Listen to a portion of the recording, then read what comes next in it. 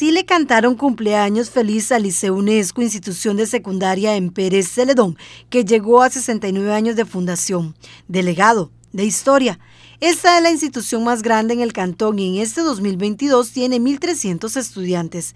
Para festejar el aniversario hubo un acto protocolario y exposiciones. Es un, un honor ser parte de esta gran celebración, de esta gran institución benemérita de la patria, como educación. Eh, educador, primero que nada, como, antes de ser administrador, llevamos en nuestro corazón esa vocación de transmitirle a las nuevas generaciones eh, la alegría de ser parte de un país que tenemos que dar un ejemplo, principalmente alzando la bandera de, de una cultura de paz.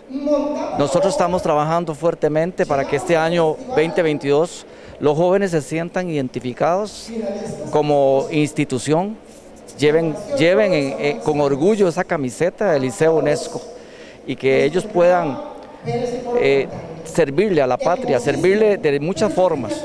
Sabemos que hoy por hoy necesitamos ser mensajeros de paz, mensajeros de compromiso para que podamos tener un pueblo, un país lleno de, de alegría, lleno de, esperanza. En 1953 nació este bello colegio, un 14 de marzo, y hoy pues ya estamos cumpliendo 69 años y bueno, hoy todo es fiesta en este colegio. ¿Qué decidieron para organizar y para celebrar? Muy bien, bueno, tenemos para hoy, en primer lugar quisimos hacer una exposición de fotografías de todos los eh, logros estudiantiles, como por ejemplo en música, todos los festivales de artes estudiantiles, en artes plásticas, que hay mucha producción también, en deportes, entonces tenemos una exposición de fotografías de algunos de los muchos logros, Carmencita, y tenemos también eh, exhibición de trofeos. Son 69 años de cosechar triunfos, así que hoy en este acto tan hermoso, un acto cívico, que más o menos tenemos unas dos horas para la actividad. la primera parte estamos celebrando a lo grande nuestro aniversario y en la segunda parte vamos a tener eh, un homenaje para don Sergio Castro.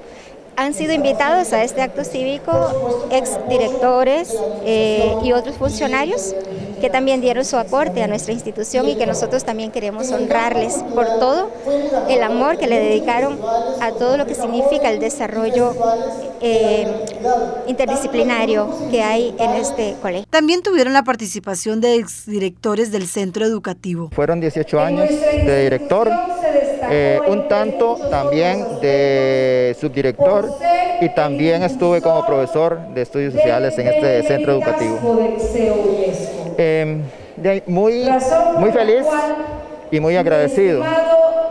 Eh, muy agradecido con las autoridades del centro educativo y con el personal docente que tuvieron la amabilidad de invitarnos el día de hoy. Y muy feliz porque regresé a esta casa que yo amo tanto, eh, ver hoy eh, a todos estos compañeros, excompañeros, y a toda esta, gran cantidad de estudiantes de un décimo año para mí es una gran felicidad. Eh, lo digo por lo siguiente, yo vivo cerca de acá, de la institución, durante dos años pasaba por fuera del centro educativo, tenía esa oportunidad. Además, se destacaron a dos egresados de la institución, Esteban Valverde por su apoyo para la declaratoria de benemérito de la educación costarricense al Liceo UNESCO y al joven Josué Porras por su destacada participación como humorista. Para mí es sumamente importante, en realidad es un reconocimiento no solamente al Liceo UNESCO, sino a toda la labor que la región Brunca ha dado como parte del desarrollo de Costa Rica.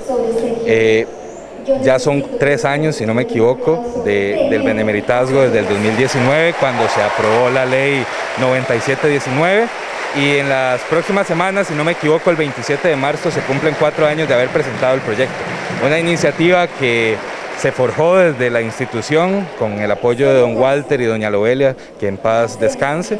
Eh, yo les agradezco demasiado el, el, apoyo. Un chiquillo de 17 años se montó en un bus y se fue a buscar apoyo a los diputados y al final se logró conseguir. Bueno, sin duda alguna un motivo de muchísimo orgullo porque efectivamente hoy es una fecha muy especial para el Liceo UNESCO y yo creo que eso es la sensación más bonita que tiene uno, que después de mucho tiempo regresa a un espacio que le dio tantas oportunidades, en el que se vieron tantas anécdotas bonitas y puede compartir por supuesto con, con profesores y profesoras que todavía se encuentran acá. Bueno, en su caso que se dedica a la imitación, ¿verdad? Correcto, sí, efectivamente. Acá pues eh, di mis primeros pasos como, como imitador, ahí hacíamos algunos, en este, precisamente en este gimnasio, hacíamos algunos actos cívicos y algunas presentaciones y ahora tengo la oportunidad de hacerlas, pero en Pelando el Ojo, en este programa de radio. Para el director regional del Ministerio de Educación Pública, este tipo de actividades son importantes. Efectivamente, pues es para celebrarlo, especialmente en esas épocas en donde eh, se ha señalado un poco el problema que hemos tenido en el caso de la educación por el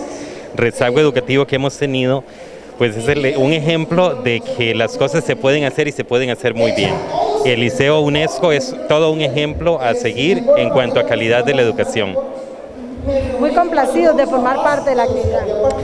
Sí, pues efectivamente este, eh, recibí la invitación de parte del, del colegio y pues sumamente contento de ver eh, todo el, despliegue de la actividad que se hizo porque creo que la institución una vez más muestra. Así fue como esa institución celebró sus 69 años de fundación.